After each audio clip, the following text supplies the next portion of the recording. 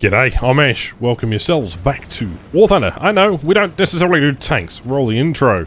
But today, we're going to be driving the Panzer IV-G. This is a rank 3 premium Italian medium tank with a battle rating of 4.3 in arcade and 4.0 in realistic and sim. It's introduced recently in Ixwa Strike and differs from the Panzer IV-G by its longer gun and its curved radio antenna. And this thing is fascinating. It's a fantastic machine. I'm joined by Jeebus, and we just completed a live stream together. It was just fantastic fun, just bellowing out, having a bit of fun. Unfortunately, this thing doesn't get its camouflage, right? On all the previews of the streams and whatever, they showed off this beautiful Italian camouflage for it. But what has the premium vehicle got when you get it stock? This ugly sand colour which honestly should be repainted and, and replastered into this beautiful pizza uh, pasta looking vehicle. Now it does have a crew of six, this thing also gets smoke grenades. Visibility is 99%, the hull armor is 80 front, 30 sides and back is 20 and the turret is 50, 30, uh, 30. So it's pretty interesting. Now we're heading towards cap on the Japanese map. I forget what this one's called. But then, nevertheless, there is already a target up, and we've got some things as a Chaffee down here. We'll wait for him to come through A. It doesn't look like he is going to. And we're going to put ourselves in a prime position on this map.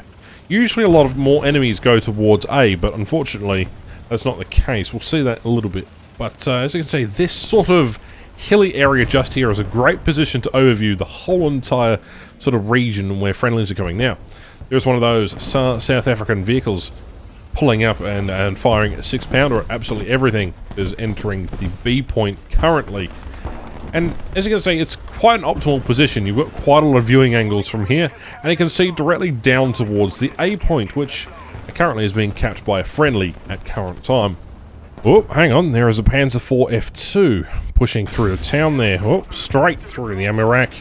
And obviously that's an ammunition explode. Goodbye Panzer IV, sending him straight back to the spawn point. I've spotted another vehicle there. It's a Chaffee, what what looks to be. Yeah, that's definitely a Chaffee, alright. So can we fluke the shot? We did. We got a critical hit on him. Knocked out his fuel tank, knocked out his engine. He'll be stuck there repairing for a while. Just pulling back just in case I receive any form of fire. Because, again, this machine, even though it has the side skirts on the turret, it doesn't have necessarily the sides on the hull. So getting extra shells in towards you oh, on a flat Panzer IV is not necessarily a good idea. Now, Jeebus is lucky he kills off that M24, and we're going to push up. Now, in the meantime, I'd like to say that as a pilot first, I much enjoy flying aircraft. I've only got three remaining airframes left to unlock. F-100 and the two F-4s that come after that in the American tech tree. I got given some golden birds uh, from the Gaijin team, and I decided to spend them on unlocking the remainder of the Chinese tech tree and a couple of other obscure aircraft I didn't have.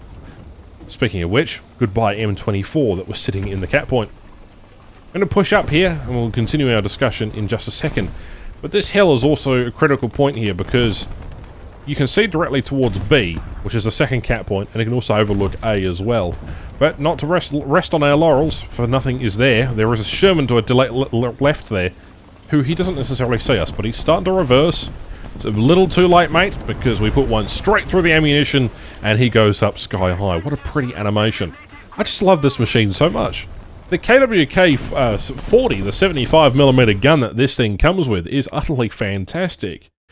That being said, though, you know, you've still got a turret rotation of 8.3 seconds, and you can upgrade that uh, with to, to 9.8 seconds, and then there's a full uh, upgraded turret rotation with 11.9 and you can even get, with an expert crew, up to 13, and ace you can get 14 seconds.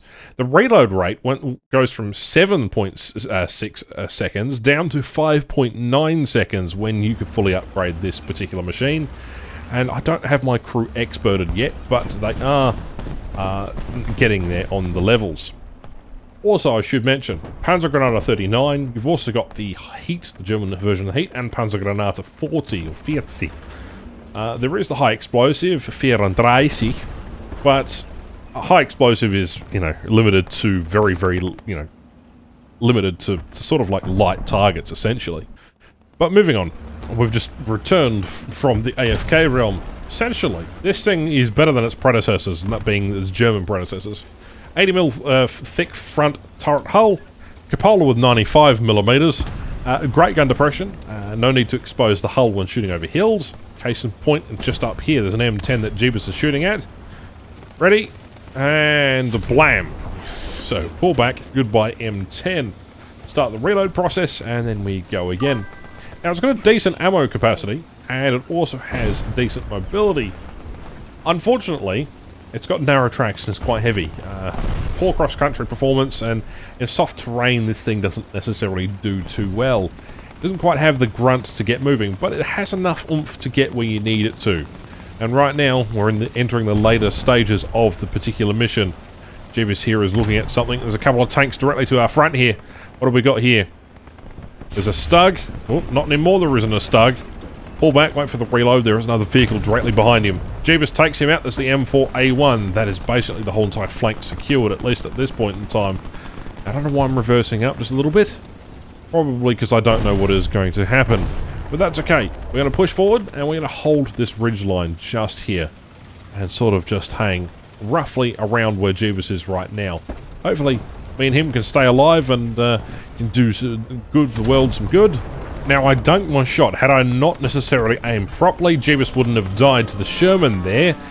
Next shot's going to come through and absolutely nail him. Unfortunately, Jeebus is now dead, but that's okay. We're on our Avenger and we get six kills at this point in time.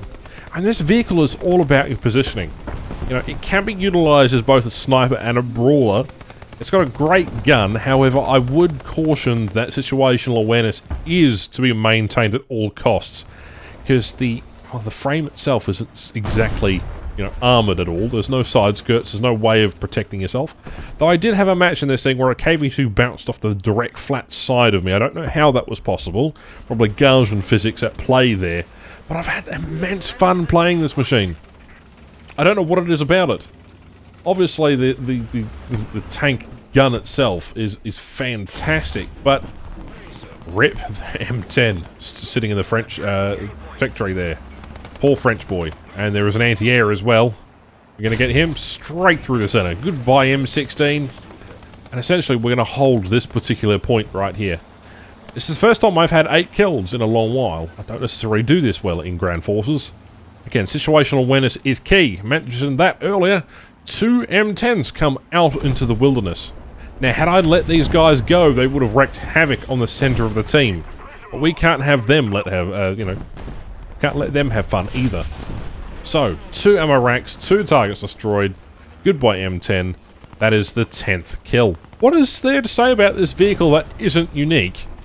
It's a great brawler. It's decent at medium to long ranges. It's perfect for the average kind of medium and mediocre sort of engagements. Granted, its armor is absolutely piss poor, but you get this thing in a hull down position and a very strong central location, protecting like a flank or two, and you have yourself a contender. As long as your team is capping the points, and as long as you're not being overwhelmed by T-34s, rest in pepperonis, Panzer IV J, then there is no real reason why I don't recommend this vehicle. Also, the research rate is pretty good, the repair cost is pretty low, you know, as a premium vehicle goes, this is pretty well balanced. I'd say that chances are high that more people will probably pick this up. It's almost better, in fact I'd say it's better than the M4 Hybrid that you can also get at the same sort of level. And that really says something. I mean, it's all about the gun, really. The armor is mediocre, you know, smoke charges are nice. It's got a hard-hitting stock round with explosive filler. That is always a bonus. I'll take that over anything.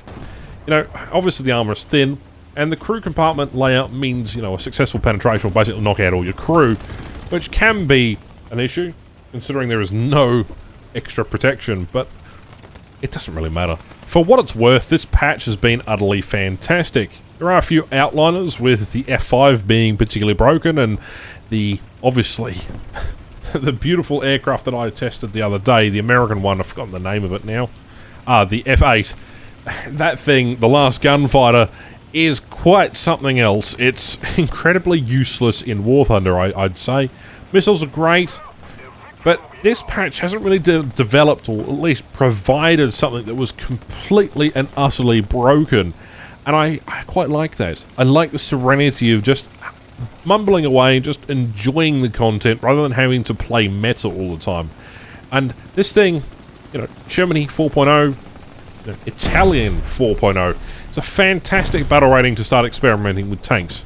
Not too high up there where you're fighting thermals or you're fighting sort of 6.7 and 7.0 tanks.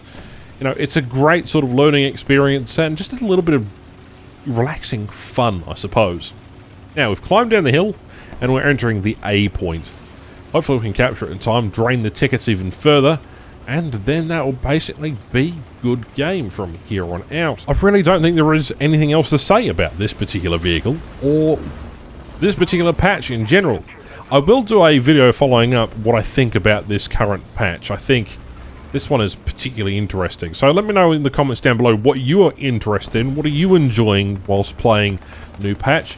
And if you've come into any issues, any sound issues, any graphical issues, just, just anything in general, and whether you think that impacts the game negatively or positively uh, during the this update, which I think is a great start towards this year. Anyway, Survivor and a whole heap of other medals you can see there. One capture zone, 11 kills. Not quite enough to bring out a nuke in ground forces, hey? Not that you can get it at this tier anyway. But there you go. Decent set of rewards and a fantastic low tier, fun and engaging, is rare to say for War Thunder match. Anyway, thank you very much for watching.